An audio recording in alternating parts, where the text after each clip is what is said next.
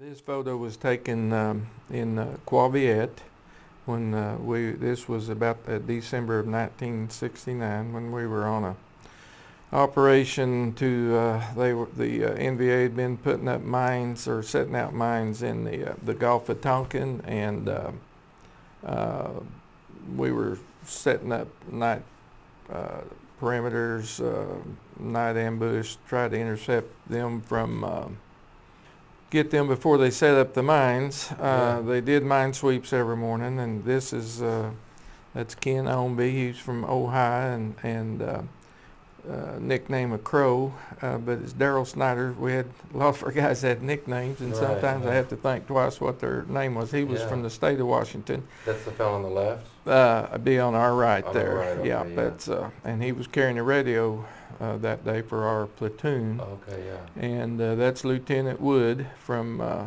from Massachusetts. And uh, I, I was telling you a while ago, every picture I have of him, he's he's talking on the radio. On the So radio, the yeah, lieutenants, uh, you know, that was kind of what they did. They was getting Yeah. orders from higher up, and then he would uh, talk to his uh, squad leaders and Yeah. platoon sergeants. Which at this time, I think I was a, uh, a squad leader Okay. which usually if it was fully uh, manned, it was like uh, 10, 10 guys About or 10 so. guys, wow. And uh, and like I said, we were with the uh, Seabees over there. Uh, that was their fire base, or and Okay. uh, and so So are you, you're right on the coast here? right on the coast, Gulf of Tonkin there. We, So you're saying the NVA would, would come down and, and they'd set up mines around the, the, the Seabee base? Uh huh. sort of Yeah. Okay. Well, they would set up mines out in the the uh, the waters there, the Gulf. Okay. So when the ships come in, they, it was, they, it was uh, aimed toward, you know, hitting the boats and Oh, the I ships. see. And so They we- weren't personnel mines, they were to hit, Oh, blow okay. up the ships. Mines. Yeah, But they would go out into the water from that coastline right, they would set them out pretty close and, uh, Yeah. and, uh, you know, we, we did intercept, uh, uh, a group and, and, and kill several and they were, they were, they, everybody thought they were Chinese. They were a lot taller than the NVA and, and, uh, they were, had look, new uniforms on, so I think it was some, some of the Chinese and whether they were part of their training or they were working yeah. with the NVA, but, uh, several of them were ch- probably Chinese, uh, that we I've heard that a lot. Yeah. know, These guys are bigger and Right. got the newer uniforms. so exactly.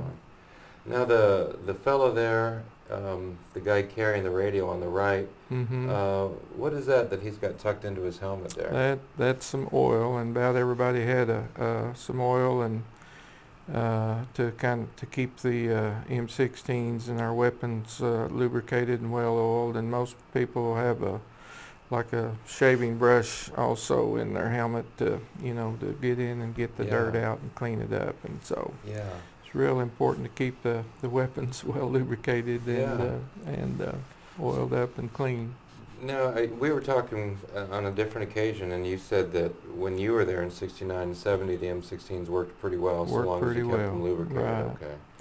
I, Yeah. I did have mine, uh, as I'd mentioned before, like I said, uh, jam on me one time, and, then it wasn't my regular weapon. It was one that I grabbed, and mine had been misplaced, and uh, and it jammed, and that puts you in a pretty bad situation. Yeah, you know, you know, Did you guys know at the time that there had been problems with the M16 I before? I didn't. Some didn't some know? probably did, but I Yeah, I didn't. But Yeah.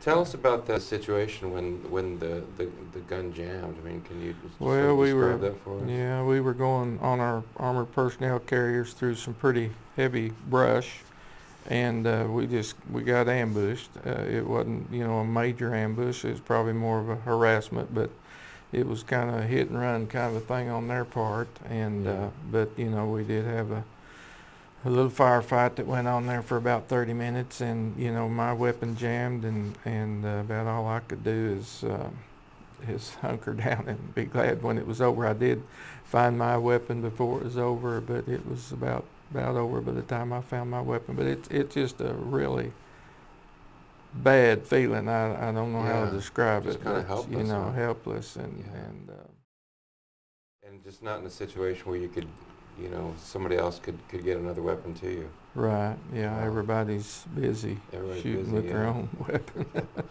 You thirty minutes not able to use your weapon pretty while all the intense. rest of this is going on. Pretty intense during that time, yeah. Gosh, I'll bet, yeah.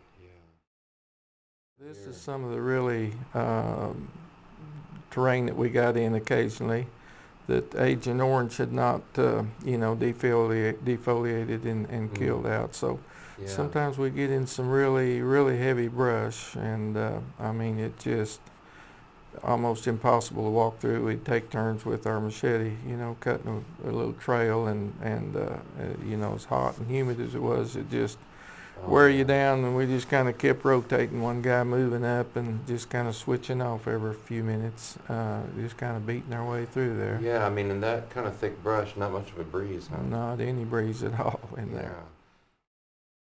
Tell us about the, you know, the, just the environmental challenges, putting the VC and the NVA aside. You know, you're in Mhm. that thick brush and Right. just, and then, then sometimes you're on the beach, but what are the, what are the, the environmental challenges you Well, with mosquitoes was a, a biggie.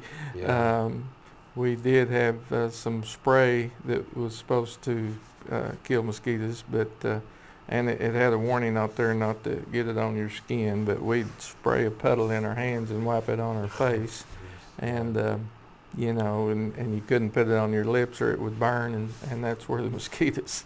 But mosquitoes was a huge uh, thing, and then of course, you know, there was other.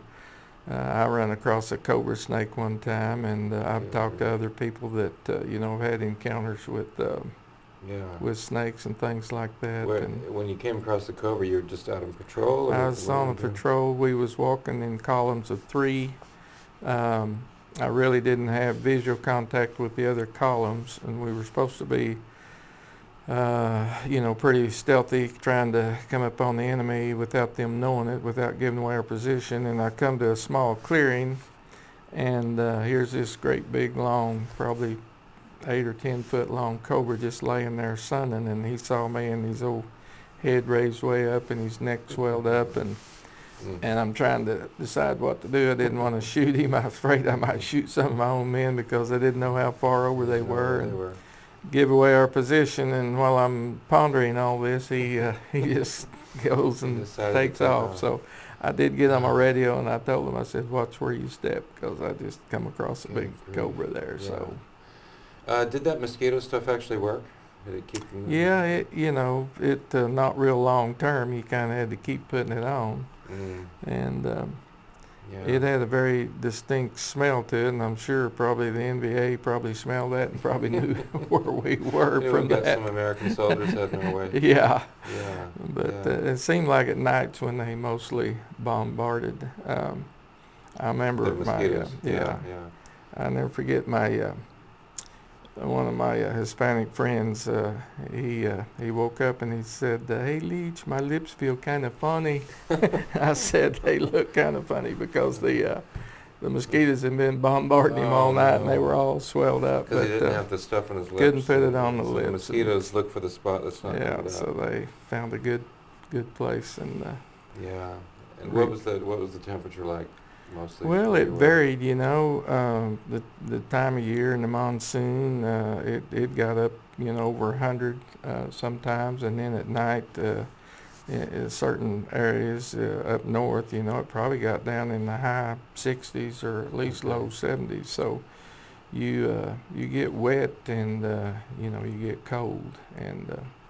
Uh, So you're wet all the time, but sometimes it's hot wet and sometimes Yeah, it's cold wet. yeah, you either Yeah. sweating or getting rained on. My, when I first got over there in, uh, I guess it was uh, October of uh, Mm. '69. Um, it was during the the monsoon was just starting, and I mean it rained every day, all the day, and you know you're just soaking wet and chilled to the bone, and Yeah. It's when you have to give yourself a little pep talk, you know. I'm thinking, you know, darn, I can't take this for a year, and you just have to say, you know, you can do it. Just buck up. Yeah, I mean, uh, you know. there's a reason why the guys are checking off the calendars, right? Right. Yeah. Did you have one of those I had a short time calendar. I uh, that I uh, I think I started coloring in when I was about 90 days. Uh, that's when you start thinking, well, maybe you're going to make it. You Maybe know. it out. And uh, So Yeah. every day you try to color in a little Mm. spot. I've, Did you, did you I've still that? I've still got it somewhere folded up in a oh wow. trunk somewhere. But That reminds me of a of a of something I've heard you say uh, recently, and that is, um, I think you had just a week to go or so, Mhm. and uh, you didn't have to go on a certain operation, but you volunteered, and yeah, so um, I wonder if you could tell us about that, because you know a lot of guys could say, hey, I've, you know, I've, I've done my yeah. time, I've seen plenty of action, and I've got a week to go, and I'm not going to risk it. Right. I don't think anybody would blame you for doing that. So Right. Why did you Why did you volunteer to go back out with the guys? I guess first of all they were going up to Khe Sanh, uh, where Khe Sanh had, had been fought, and uh, I had never been that far west. It was uh, we went nearly to the Laotian border, and uh, Yeah. I guess curiosity one thing, and the other thing was, you know, uh, you know, I was still, still there, and and uh, you know, I still was. Uh, uh, I don't remember if I was. I think I was a. I'd been a platoon sergeant. I think at that time I was probably a squad leader, and uh, you know, I just felt like I should be with my men. You know, I just felt like, I guess I'd be slacking if I didn't go. Mm, you know, yeah. so. How did that operation go? Uh, you know, we went up there. We we dug in. We um, really had some fortified, uh, you know, foxholes with sandbags, and had lots of ammunition, and and uh, but we never made any contact. So I I I think maybe uh, the big brass probably thought that uh, you know they were going to draw out uh, the enemy, bring them, but it it didn't develop for whatever reason. Apparently, they thought there was probably from. Yeah. the uh, tactical operation command or whatever, you know, probably had Yeah. detected movement up there and probably thought the enemy were trying to infiltrate, and they Yeah. uh, is what I figured. I didn't know yeah. for sure. Uh, But you didn't on that. we did. We didn't make any contact that time. And you said you're at Khe Sanh. Right. You went to, to Khe Sanh. This is 70 then, 1970. Uh, yeah, it would have been Yeah. seventy. So by that time, if I remember right, Khe Sanh had been abandoned. Basically, Right. the U.S. had, had left Khe Sanh. you really couldn't tell they'd ever been there. Uh. It would. Yeah. I guess when they pulled out, they brought the dozers in and filled in the yeah. their bunkers and leveled it and uh, all the vegetation had grown up and really there was yeah. hardly any signs that anybody had ever been there. But you must have known at the time about the big battle that had taken place. You know, I, place. at I just kind of knew about it. I didn't know the extent.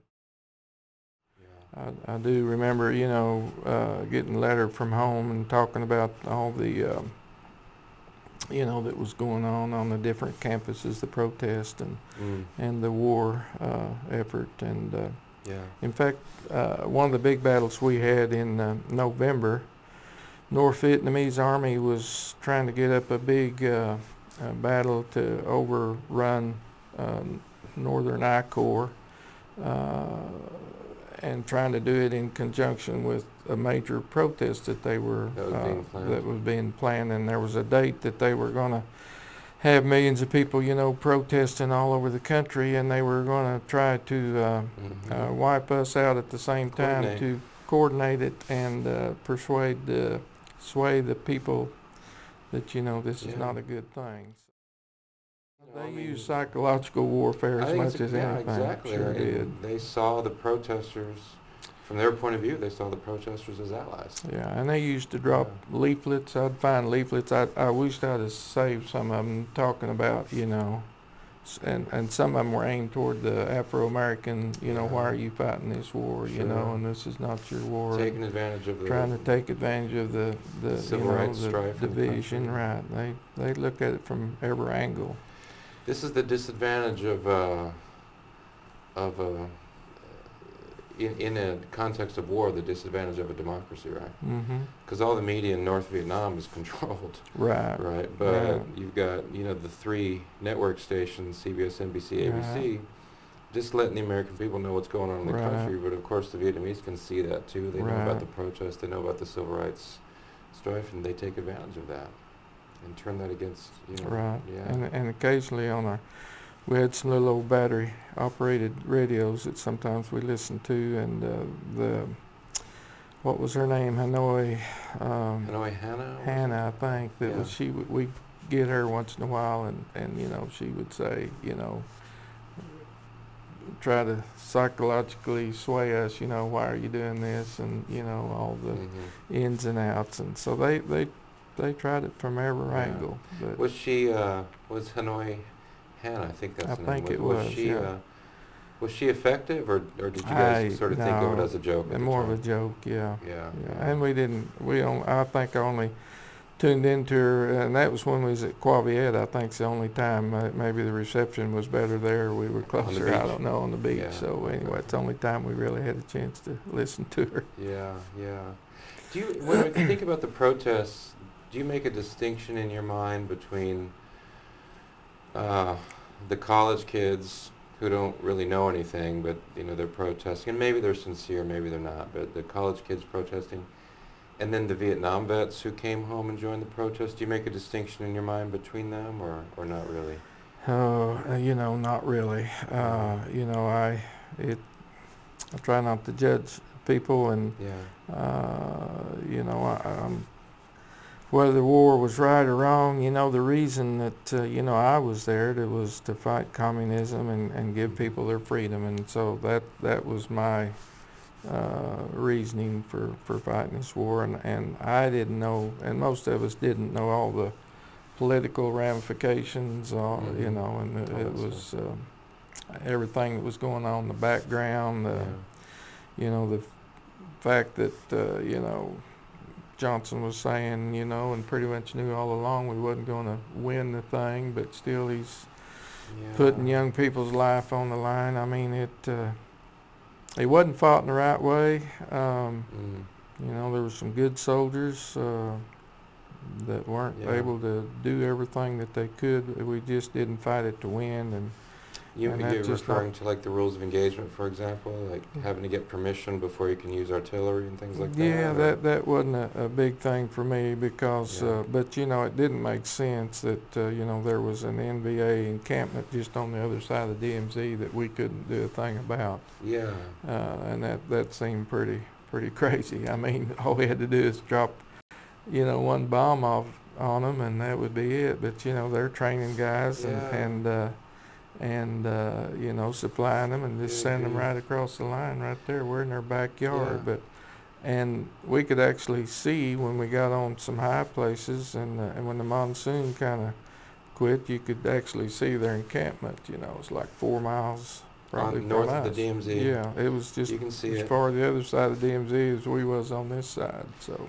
And of course, they know you can see them. yeah, and can't do anything about it. It's like they're thumbing their nose at us, you Oh, know. man, but that's, uh, in their backyard. So you that's know, it, like I say, there was a lot of things that just wasn't uh, Mm. fought right. I guess the you know I guess one of the responses there's concern about, of course, collateral damage, but then also worry that uh, you know like in the Korean War, China came into the war and worried about China coming into the war. Although it sounds like from what you say and from a lot of other vets say China was already in the war. Right, they were sending their soldiers in there. soldiers and supplying. Russia, you know, was supplying weapons and Yeah. ammunition, and Yeah.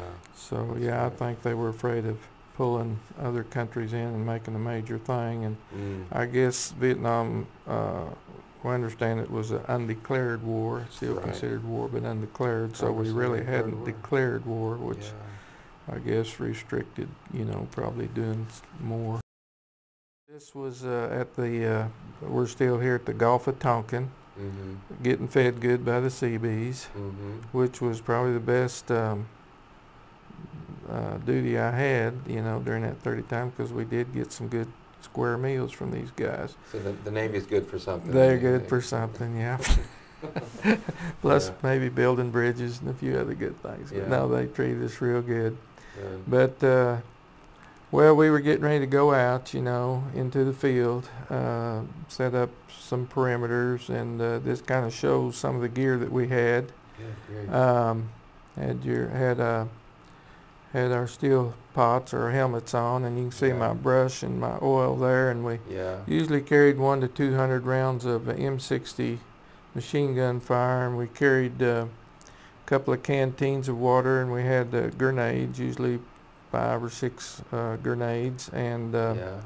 of course you hear, you know, war stories about during a lightning storm, the electrical uh, you know, setting off some of them or a claymore, but I never did see that happen. But that. and most of us carried a little, I think it's a pound thing of C4 explosive.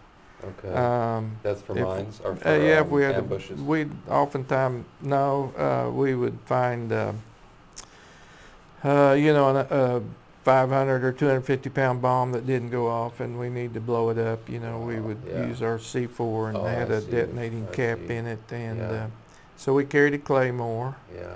Uh, you know, claymores we set up around our perimeter and had a, a cord that ran to it and a little electrical charger and Yeah. M16 and a, a bandolier around our neck there that had uh, probably, oh, um, I think about maybe 15 uh, magazines of M16 ammunition and uh, Yeah. our whatever you we need to eat had C rations and uh, something to sleep on, a poncho, I see the poncho, yeah. and uh, something to dig a hole with, and uh, this one we were legging it or going out afoot. You know, a lot, Yeah. lot of times we would. I had mentioned earlier that I was a mechanized unit, and we we rode on M113s, which is an APC or armored personnel carrier Yeah. that's on a track, and we'd carry a lot of our stuff, and then we would leg it out from there. Uh, on this particular operation, we're just legging it all the way, carrying what we need. And in my pocket on the left there, uh, I had a map, uh, and then I've got a little. The squad leaders had a little radio. That thing on my helmet there is a little receiver, Okay. and it seemed Wow. like there was always static on it, so I had to try to filter that out when Wow. you're listening for other things. And then uh, Yeah. I had a little radio clipped right here that I could keep in contact with uh, Wow. my lieutenant. How much does all this stuff weigh? I I think they say about 65 to maybe 75 pounds. And how many miles might you put in? Oh, sometimes we'd walk, you know, several miles. Uh, it wasn't uncommon to walk five miles, and Yeah. uh, And then sometimes through thick bush with all that stuff on? sometimes, in this particular case, it's mostly going through sand and pretty typical looking, like you'd see in a desert. There'd be little shrubs here and there Yeah. poking out through the sand, but Wow. it wasn't very rough terrain. And then in- so you're lugging all that stuff for several miles in 90 degrees, 95 degrees, Mhm. something like that. Yeah, Wow. How many uh, canteens of water would you keep with you? I usually had two. I think that was a one Okay. liter there, and I had a, a bigger kind of a rubber one that's more collapsible. I, I was probably on the other side that I carried, and I think it was maybe two liters. Probably wouldn't take long to burn through two liters of water. It wouldn't, and I, I remember one uh, operation we were on uh, way up in the mountains, and we ran out of water, and Oh. uh, it was like a hundred plus degrees, and Wow. uh, and uh, it uh, it wasn't a good feeling. That was the time that I uh, I found water in an old bomb crater, and I filled up my canteen and and put a couple of uh, iodine tablets in it that was supposed to supposed to put it in there and let it dissolve for 30 minutes. So uh, you know, kill the bacteria and it at least made it drinkable. But you know, when you get thirsty, you will you will drink something. And bet, yeah. people were starting to get a little panicky, and they probably they finally brought us some water in a helicopter. And uh, they brought us some soda water, grape, grape ed, some kind of grape pop was what we usually got in cans, and everybody's supposed to get a half a can a half a and can. some guy drank a whole can, and he was, uh, you know, That's this one cool. guy said, and he was not just kidding. He said, "I'll kill him," and he was. I mean, that was just something you didn't ever want to do. Was it was not not share or split things up. Yeah, Even that's just. yeah, Uh, yeah. that was a bad thing, and so I said, "Well, you know what? He, he that's my half that he drank, and uh, so that kind of calmed things down. But I didn't get any great pop that day. But that was you were the squad leader at this time, Mhm, so that was your way of resolving that. Yeah, yeah, yeah. resolving that, and that uh, problem. the, he wasn't very popular. But uh, the other guy that was in that picture was his name to name it? was Cheek, and he was on an armored personnel carrier that hit a mine and flipped it over, and and he was in a coma last time I saw him. So oh, I boy. I hope he made it all right. oh, but uh, you're you're still not sure whether I'm still he, not sure. whether he made it. Uh, like I say, his name's not on the wall, Oh, okay. so at least uh, it didn't kill him. But I, I don't know Wow. how he if he had any Yeah. you know, neurologic deficits after that or, Right. or not, you know. So he was his uh it was an APC he was on Mhm, was hit by yeah. a mine and hmm Just flipped it clear over. flipped it. He was in a coma and then got dusted off and that, Right. that's it. That's Mhm. the last you, you knew or heard Yeah, of. well, I got dusted off with him, uh, and I still saw him when we, we unloaded him at the, uh, the uh, military little hospital there, and, Yeah. uh, he was still in a coma, so that was several minutes later, wow. so, Wow. Uh, And you were dusted off as well, Mhm, so yeah. you were also wounded from the same incident? Right. It it threw me a long ways away from the track 'cause I was sitting up front and it just kind of catapulted me uh, way out there and, and I had a huge swelling on my side here and a big bruise and Yeah. uh, just I guess I was knocked unconscious for a while. But uh, Jeez. a lot of men were there was ten of us on there and all of us got medevac. Everybody one one fella ended up with a broken back that fortunately didn't paralyze him. Um, he's he's okay now.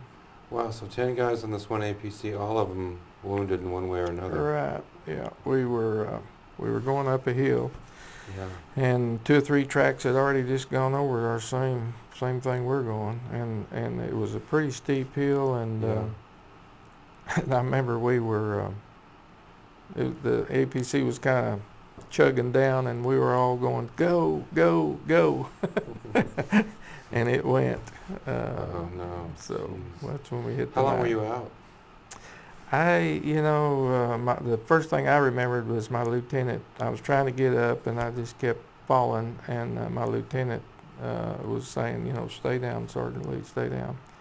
And um so enough time for him to get over to me. Probably, I don't know, a couple of minutes. Probably It wasn't out very long, but Yeah. How long did it take for the helos to come get you? oh, probably 20, 30 minutes. Okay. Yeah. And then a 15 minute ride to wherever you went Probably, after that, 15, yeah, 20, something yeah. like that. Wow. Yeah. And so how long were you in the hospital? Well, uh, not very long. I uh, I had, like I said, a huge swelling that probably looked like a football, uh, just probably a hematoma or a blood filled thing, probably. Um, and I I remember laying in that bed, and I just uh, I was restless, and and uh, I told them I wanted to get back. Really? so Get I was probably there a couple of days, and uh, they sent me back, and Oh. I swore I'd never. That was the second one of those uh, I'd been on the head of mine, and I swore I'd never get on another one. But wow. probably two or three days later, I was back on one. So, They got hit by mine again. well, I Or- that was the second one I'd been the on the second head of mine, that, and that was the last one. but Okay. So you're on two two different Two two different. Yeah, yeah. The second one was more. It More it serious probably was a bigger one. They think they had either two of them stacked, or either that or it was an anti-tank mine, which was a little bigger. Wow. Um, Wow. somewhere I've got a picture one where, you know, sometimes after rain, uh, the wash the top off of them and we'd, we'd find them out in the field where they had buried them. And, uh, Jeez. you A know, pretty resourceful enemy, huh? they were, they Yeah. tried a little bit of everything. This is, uh, Soldier, uh, Orlando Wright. He was one of our, uh, APC drivers. Uh, you can see him cleaning his weapon here. He was down in a, this is back at Con Thien in one of our big uh, bunkers that they had big, you can see big timbers and Oh yeah. they were partly underground and big timbers on top with dirt on top of that. So when we came back to uh, our base camp, that's where we where we stayed. Um, Orlando was driving the mine that we mentioned a while ago, or driving the uh, APC that hit the mine, Oh, okay. and uh, it knocked out a bunch of his teeth, and I don't know what all. Uh, you know, that was. Uh, he did. He did come back, so I think he had to have a bunch of dental work. Was mostly uh, what it did to him, but Wow. he's keeping his uh, his weapon oiled and greased, and you know when we come back, that's kind of what we did. That when we come out of the field, you know, get your weapons back, you know, Just take them apart and clean them. Yeah. How long was he was he away after being wounded? Uh, several days, pr- I, not very long, probably probably a couple of weeks, and then I think he'd go, uh, you know, once in a while off to, you know, get s- some dental work done. That's Terry Garrett. Uh, this is when we were at uh, Khe Sanh, so you can Khe Sanh, see there's really no signs of anything, and yeah. um, uh, you can see the mountains around it. Mhm. And uh, you know, I, I didn't realize that it, just what hallowed ground that really is and, until you Mhm. know I watched uh, some documentaries about it and realized the extent of what those guys went through. Um, and that's Terry Garrett, uh, nicknamed Default. He he's from uh, Blanchard, Oklahoma. Good Hmm. good soldier, good guy. He's he was uh, in my squad, and um, um, so he's he was there quite a while after I left, and so he kind of would write me pretty frequently when, when I got home and kind of keep me up on the platoon who was going home and Yeah. who got a rear job. And you can see our C rations in the background there. Right. Yeah. And that red diamond on my helmet, I'm kind of proud of the old red diamond. That's the 5th Infantry Division. That was our insignia. And, Yeah. and uh, you see, we didn't didn't have a barber that traveled with her with us. yeah, I don't think you'd pass an inspection. You know, with that one, no, yeah. probably not. We'd usually get a haircut when we come in near a village, and Okay. sometimes uh, one would come out and cut her hair at the Yeah. at our fire base. But And when you're when you're out in the field on a typical uh, mission, uh, how long would you be out?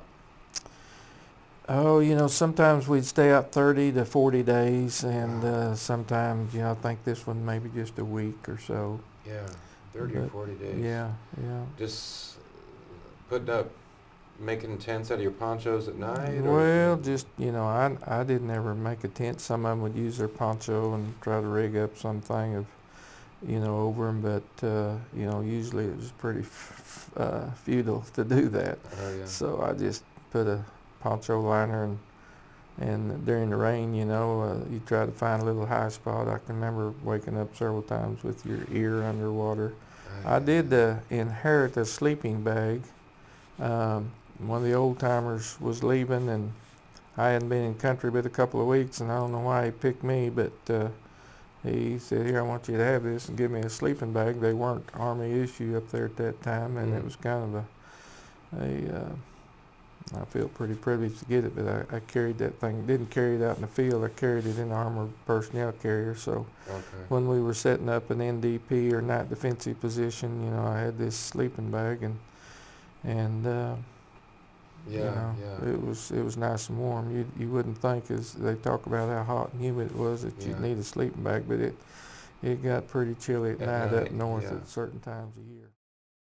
We're having a nice little swim. Uh, that may be the Qua Viet River. I'm not exactly sure, but uh, the, I guess the interesting thing about this is we had just come off a hill.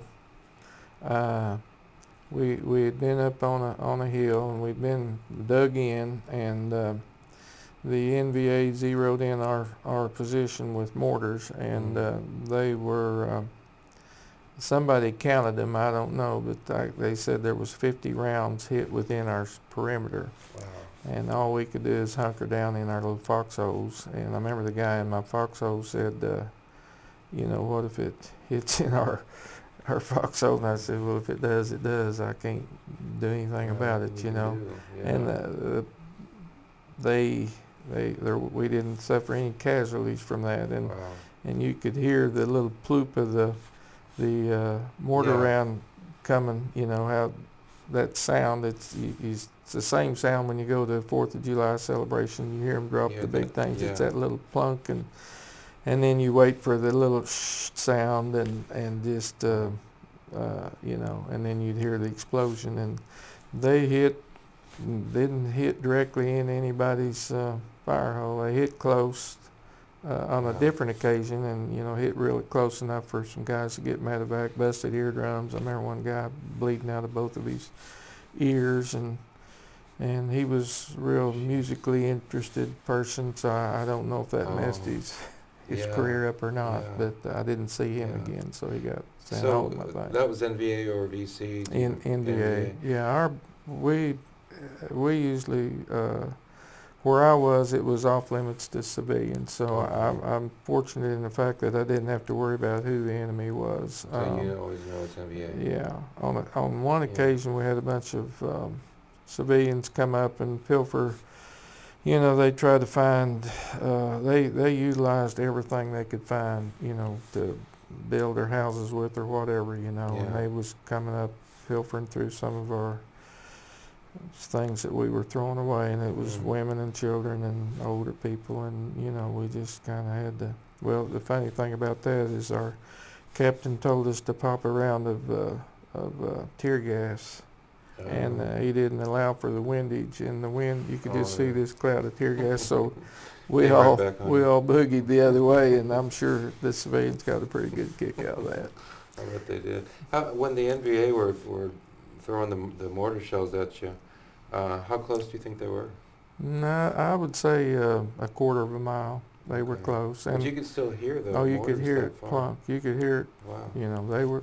It might not have been a quarter of a mile, but yeah, yeah. And later on, I found out from reading and, and some of the um, uh, what some of the other soldiers had written that uh, I guess they, uh, I think one or two Rangers uh, uh, snuck up on them and took them out. okay, So yeah, got him.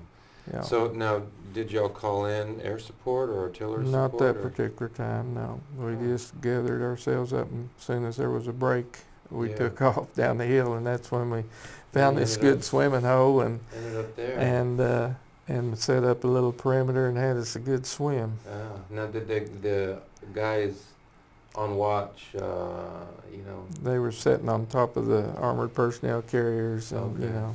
Now did y'all swap out so that you then get, you Right, stood watch yeah. and they got to jump in for a mhm, while? Yeah. Okay. How do you remember how far into your deployment you were when Probably about halfway through. that happened? Yeah.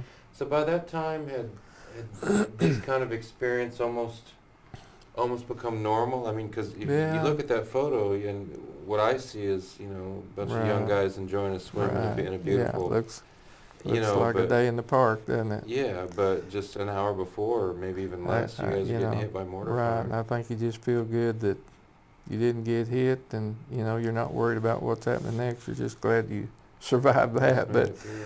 I think uh, you know w- your first week or two when you go over there, you're just really on edge because you know it, a lot of a lot of guys get it. You know when they first get over there for some reason, and Mhm. um, uh, in fact, you know there's a couple of guys in my platoon that probably were the, were the short timers. They hadn't been there, but uh, uh, you know less than a month, and uh, I, I you know.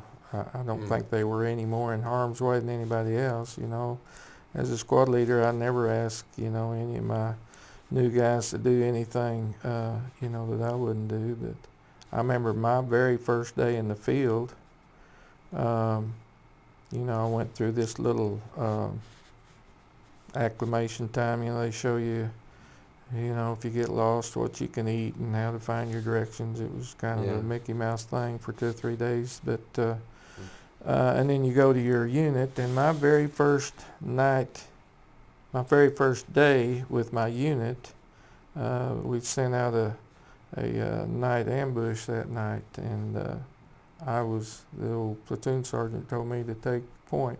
So here I am, my first night in the field in Vietnam, and I'm leading a, a Wow. night patrol At night on point. uh, on point. Good. So you know, some there was I, I just never did do that. In fact, I walked point, and Mm. most of the time, me and my other squad leaders took turns walking point and bringing up the rear. I wasn't going to ask anybody to do something you know that I wouldn't do, and I certainly Yeah. wasn't going to put the new guys in harm's way like that. Uh, I think that was pretty common. Though, it was with the new common. It was front. it was common, but uh, yeah, yeah. I I just never did do that. That's uh, Bob Tibbetts. He was he was from Glencoe, Minnesota. Um, he was a family man. Had a wife and a, a son. Yeah, I see the ring there. Yeah, and uh, just a, a really good guy. He, like I say, he was a fellow squad leader and and uh, just a real good friend. And uh, Yeah. you can see his little receiver, and uh, there on the right there is his uh, little radio that we, you know, had we could communicate with our platoon leader, and On the and- left side of his helmet, what is that? that's the receiver. receiver. Mhm, Yeah, Wow. he's got his bandolier full of M16.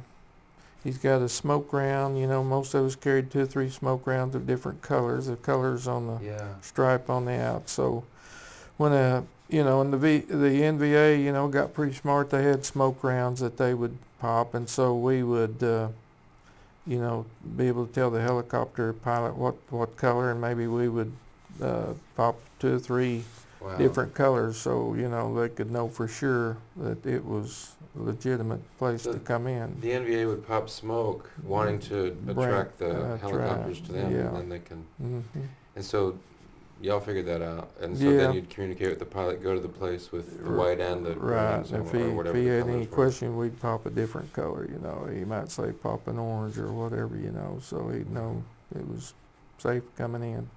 wasn't never safe, but safer, I guess. So Yeah. It's a very resourceful enemy, isn't it? I mean, Mhm, We've made yeah. that point already, but. right. They weren't here. dumb people, that's for sure.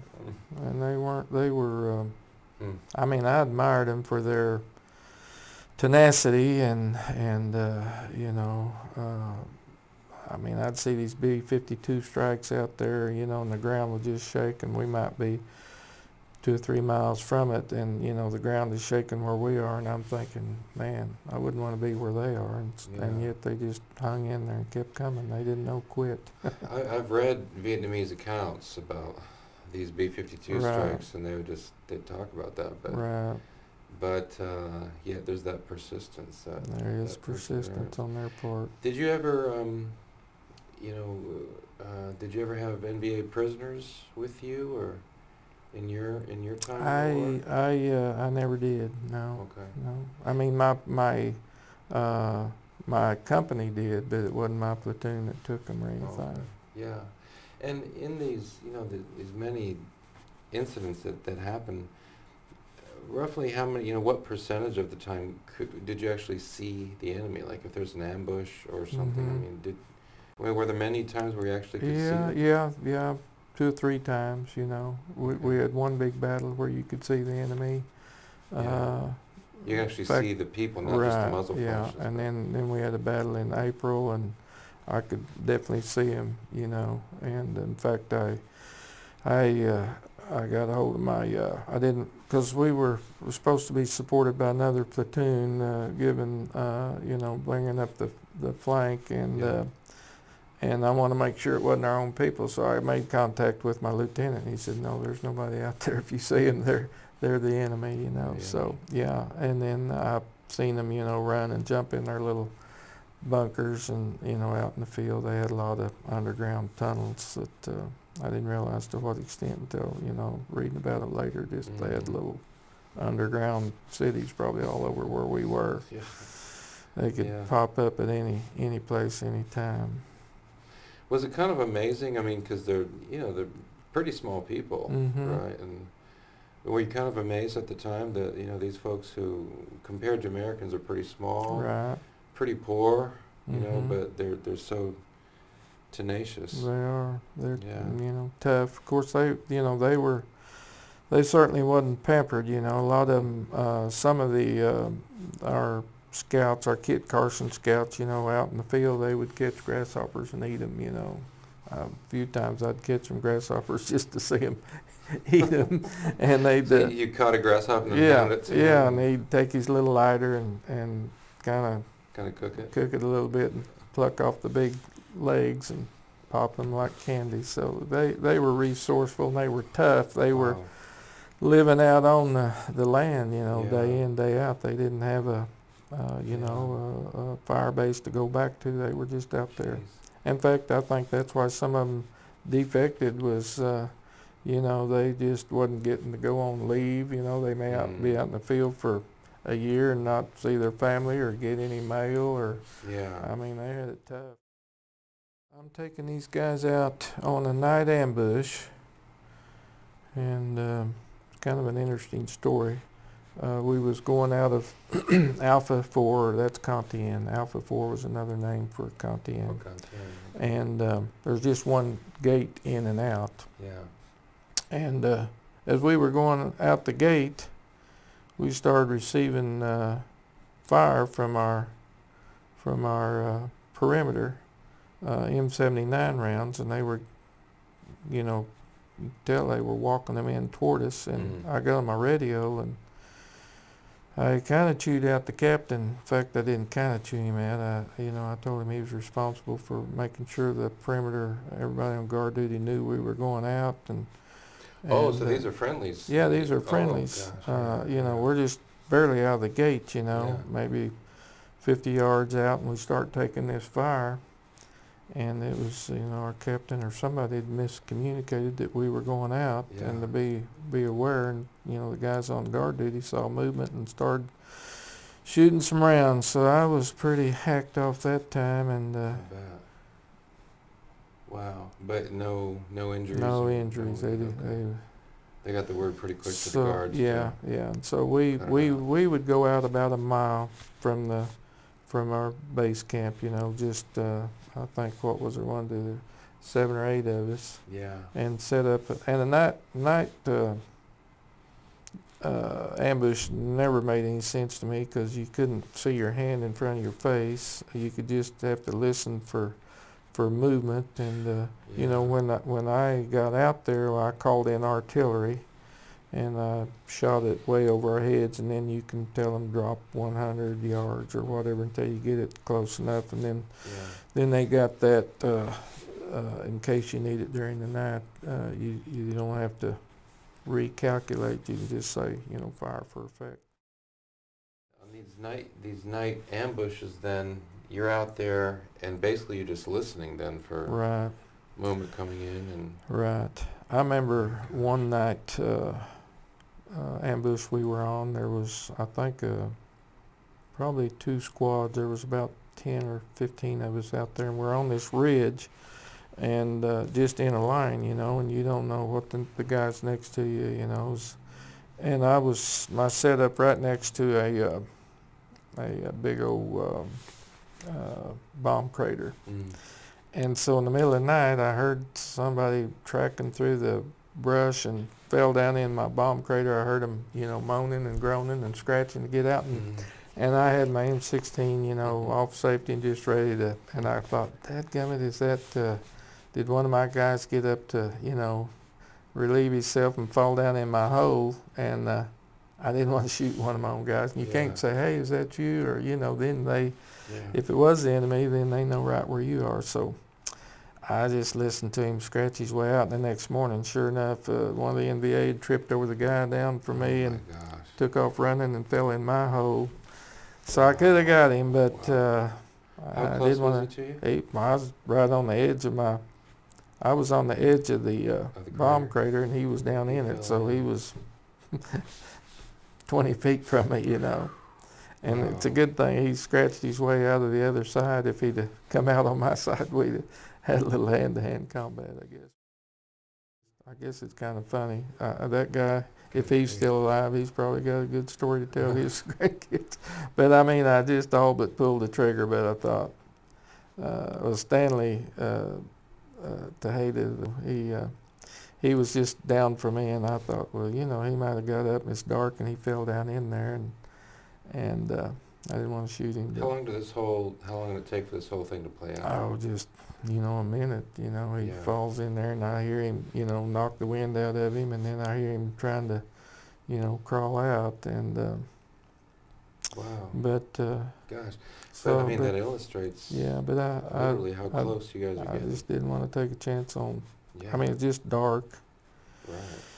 But yeah, you have a lot of encounters, and you know, uh, friendly fire. You know, uh, I was trained in mortars, but uh, I just didn't feel adequate with mortars uh, because I just didn't want to drop around on one of our own people because there's a lot of, you know, it's not an exact science. There's a lot of Kentucky windage and you know eyeballing where you're going to put it. I mean, it is Sure. a science to some degree, but not an exact science. I didn't feel confident with it. And you know, the tankers almost got took me out once. Me and a fellow soldier named Bud uh, Wagner. We, my lieutenant told me to get somebody and go out and kind of recon this area. We was in working with the tankers. You know, a lot of times we'd go out with the tankers. You know, we'd be like two armored personnel carrying a tank. And, Yeah.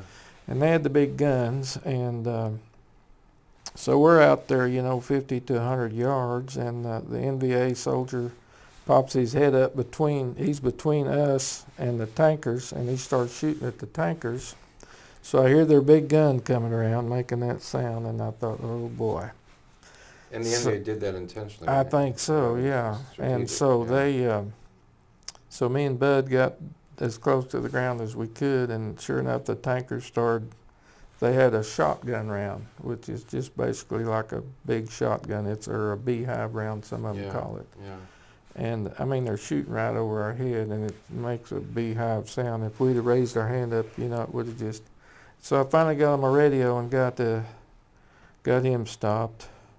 Jeez. And so, uh, you know, that yeah. I was, that made me more mad than scared. And so I come in and I'm I'm chewing out that tanker big Mhm. time, and I Mhm. chewed on him for five minutes, and uh, Mhm. and finally he said, "You know I outrank you, don't you?" And I said, "Then you ought to know better." And Mhm. I walked off. But you know, I I wasn't scared as I was mad I over that deal. But Yeah. you know, so there's a Yeah. lot of casualties from so-called friendly Oh, yeah. friendly fire in war. As you look at those faces, uh, anything especially? Well, that's uh, that's Linville on the right, and and Linville's to the right of. You're in the center, and Linville's to the right of you. hmm Is it's Michael Linville. Right, Michael right, Linville. Yeah. Linville. hmm And then uh, the guy you can't see his face with the watch on right next to me. That's Vernon Russ, Vernon Ross. And uh, that's Rodriguez, and then that's uh, Snyder. Rodriguez is on. He's, he's Right. on your your right, shoulder. there. Yeah. And uh, behind you. and then and that's uh, uh, Daryl Snyder to to the left of the back there, Okay. nicknamed Crow. Yeah. And uh, then we had a medic.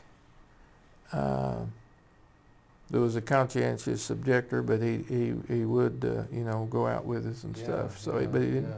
didn't carry a weapon. It was, it was a pretty uneventful night. We didn't make any Okay. contact.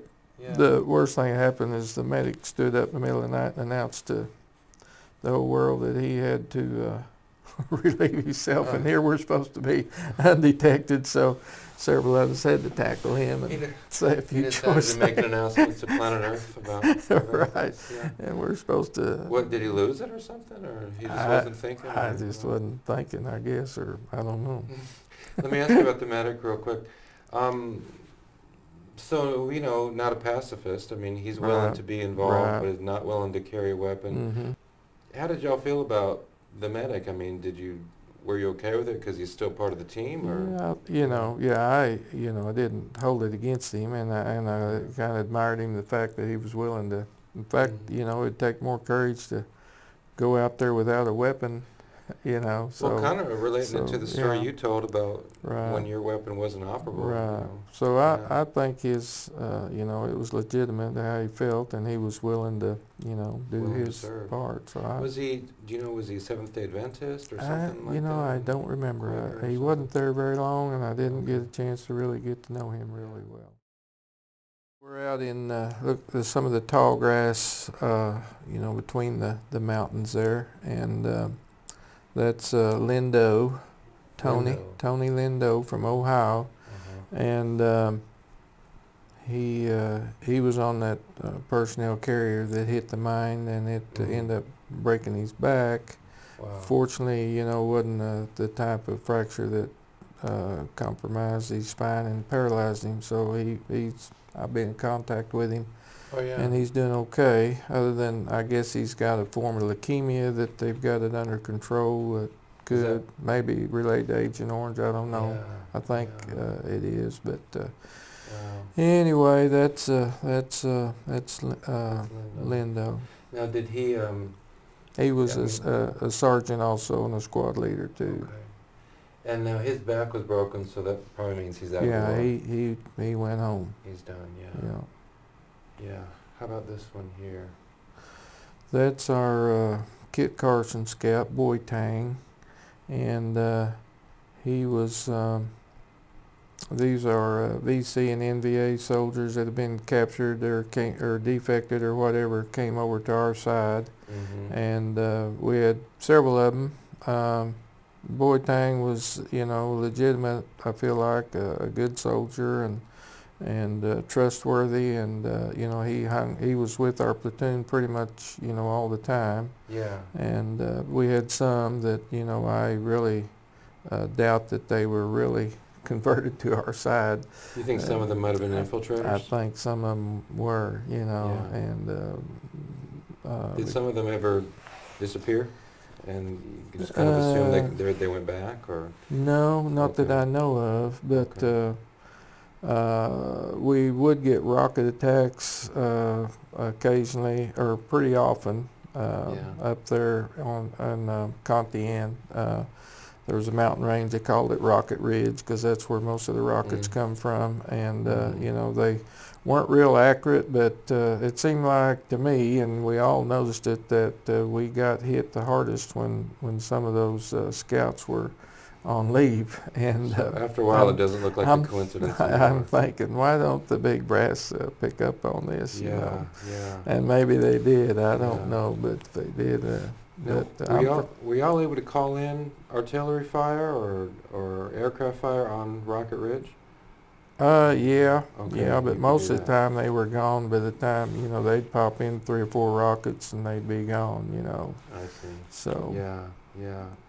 So this uh, this fellow here, you you trusted him, uh, but others you didn't feel like, like you could trust. Right. Um, did you?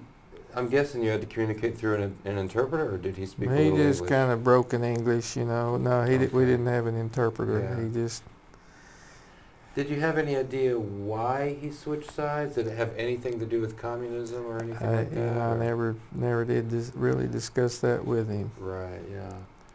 You just don't know. And Don't know. do you have any idea how things ended up for him? No, I don't. I, w- I wished I did know because he he was a, a good little guy, and Mm. I hope things went good. But uh, you know, um, if they Yeah. caught him, it, I'm sure he's it didn't go good If for the him. when the NVA came down and conquered the South. Right. Yeah. Did you do any operations at all with the ARVNs? The Yeah, we not specifically with them, but I mean they were in our area, and we Okay. saw them a lot of times out in the field. They'd be on an operation, and we'd we'd go by 'em and. Uh, you know, the general consensus with us was they really wasn't very dedicated soldiers, and and I read others that said they thought they were really good soldiers, you know, Mm. but uh, the ones that uh, we saw just didn't feel like they were yeah. were really uh, in yeah. it. I never Yeah. did feel like they were committed to the war. Did that was that was something that occurred to you at the time? That they didn't Mhm. seem to be just, committed to the yeah, fight? just kind of my observation of them, Yeah. and Yeah. So did that? I mean, so then a next thought could be, well, if they're not committed to the fight, then why, Why should, should I we be? be? Yeah. Did that ever go through no, your mind? no, it didn't. You just Just thought I'm gonna do my job the best I can, and yeah, yeah. you know it's yeah. unfortunate they're not not that dedicated. After six months in country, what is your job? I mean, if when you're flying over, this is about, you know, at least if nothing else, putting the brakes on on the spread of communism, Right, which I think you can say the Vietnam War did. I mean, put the brakes on. it. Um, if that's what the war is about, according to the folks who are getting you ready to go, Yeah. is it still about that six months? Six months into it?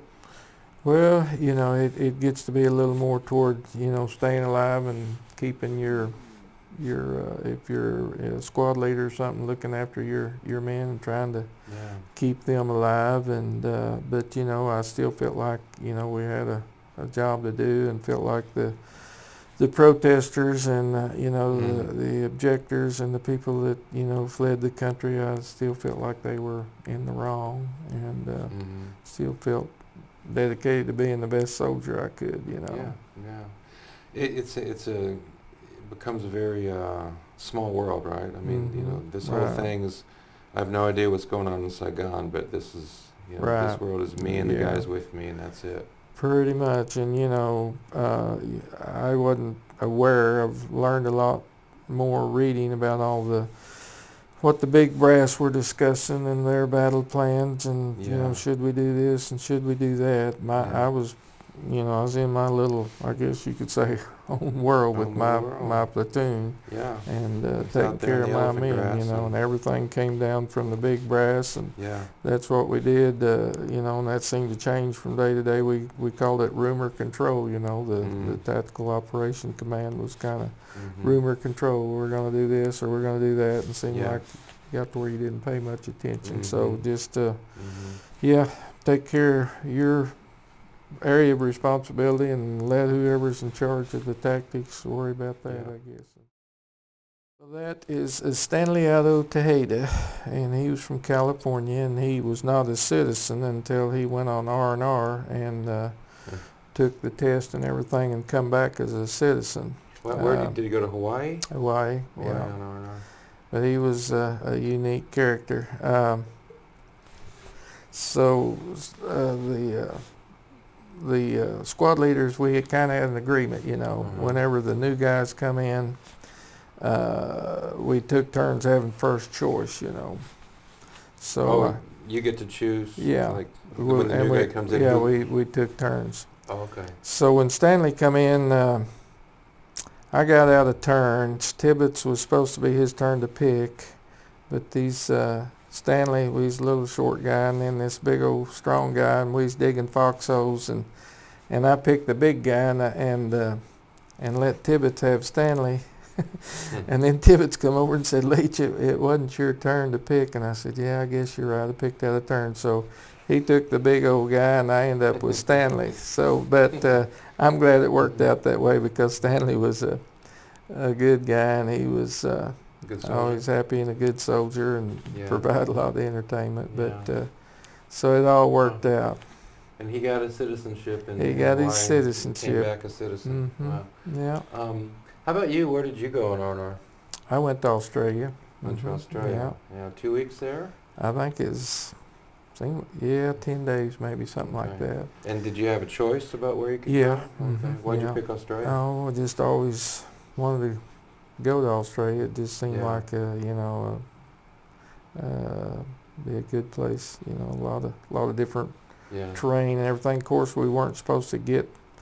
I can't remember if it was wasn't supposed to go more than 50 miles or something like that. From we we ended up in Sydney, Australia. Okay. Sydney. And uh, I just wanted to kind of get away, and there was, uh, you know, some of the local people, you know, had programs where they you could go out to their place, and Yeah. and uh, and I uh, I went out and stayed several days with this this dairy farmer, Oh. and uh, went to you know a, a sale cow sale with him, and drove a Uh-huh. tractor and Yeah. picked oranges, and just kind of a uh, you know relaxing time. Yeah. Now, you grew up around cattle, right? If I remember yeah, right. Because mhm, I you, sure you've let me read your letters, and I noticed that you ask a lot about the cows. and right. I think even one one or two cows were named, if I remember Pro, correctly. yeah, so- yeah, we had names, and of course, Asking about the I cows. always ask about the old dogs, old Sandy. countries up and you come back to the U.S. and it, wa- was it one of those things you, you hear vets talk about where they're in, you know, they're out in some rice paddy on Tuesday or they're in the elephant grass on Tuesday and then on Friday they're back on the farm in Right. Nebraska or something. Was it kind of like that for you? Mm-hmm. Yeah, Wow. yeah. I'm like out in the uh, out in the field, and you know, time you process out over there and fly and process out in country, you're looking at about three days. You know, so you, you're going from the battlefield to you know, and, Okay. and there's an adjustment for sure. Uh, uh, you know, noises and things like that. Um, yeah. uh, you know, really affect you because you're used to, you know, responding to those kind of things because Yeah. it could mean live or die if you don't if you don't respond, and so you. Were there some incidents like that, a loud noise or something? Yeah. just kind of responded instantly? well, I, I remember sitting in my brother's uh, house, uh, and it was, uh, you know, the wind was blowing. He had the the door open, and it slammed shut, and just, Mm. you know, I mean, I just instinctively, you know, hit the ground and got in a mode to fight something, you know, and so it takes takes a while for you to acclimate and realize you don't have to respond to every every loud loud noise Yeah, uh, yeah. because uh, you know Um, it, How long would you say it took you to, to kind of wind down? well um, I remember the first Fourth of July. I didn't really want to, and and Fourth of July had always been one of my favorites. You know, I remember popping firecrackers. But the fourth, first Fourth of July, which would have been if I come home in October, November, December, January, February, you know, seven months or whatever, you know, eight months, uh, I, I didn't feel like participating in those loud noises. So, but Mhm. probably maybe a, a year. Okay. know. Okay. And and you still, you know, um, you'll hear a lot of veterans talk about when you go to a restaurant or something, they don't like to sit with their back to everybody, and I, I still feel that way. You know, Yeah. you feel exposed because you're in a a night defensive perimeter, and you're you're always facing out, and your Mhm. brothers have got your backside, and so you know, Yeah. um, you just feel exposed. So and, just that thing in a restaurant, if you're kind of in a corner, but your back is to everybody, it's just hard really to settle. Yeah, it's just an Yeah. uneasy kind of a feeling. It's not a something that just paralyzes, and you can you can get through it if you just Right. don't think about it. But still, Right. you'd rather sit Yeah. facing everybody. Yeah. If uh, somebody offered you an all expenses paid trip to, uh, you know, Old I Corps, Yeah. Dong Ha, Fubai, uh, Quezon, and Quang Tri, and Con Thien, and all that, would you would you take it?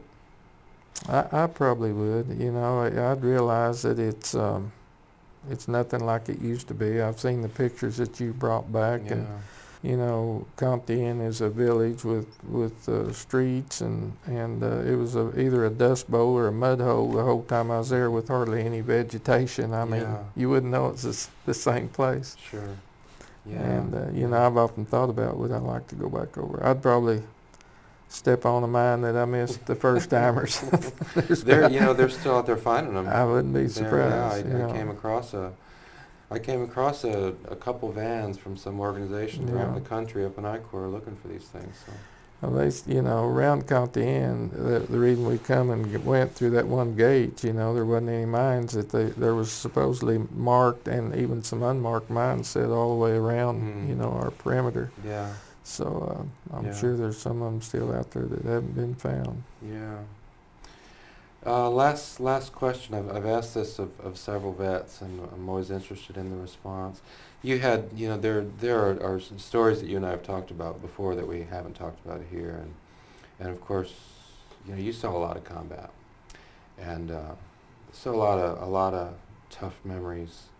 Um, if I had uh, if I had a, a a potion, and I said, Ken, you know, all you need to do is just take a teaspoon of this potion, and you get to keep all the good memories of the time in Vietnam. You know, the the funny incidents and the, that sense of camaraderie, camaraderie. You get to you get to keep all of that, but you but the potion will make all of the all of the tough memories go away.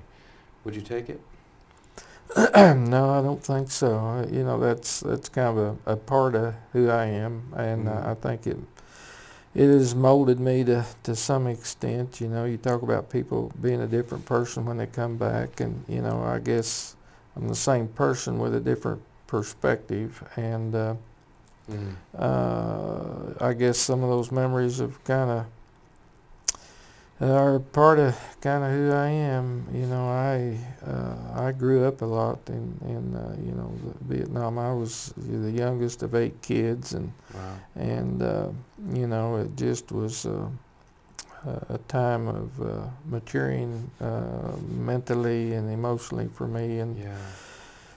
Learning to deal with certain things and so uh, no I don't I don't think I'd erase any of it Mm. I mean it's Yeah. uh, you don't don't want to dwell on those things but uh, in some fashion or way they probably help mold you into what you become I guess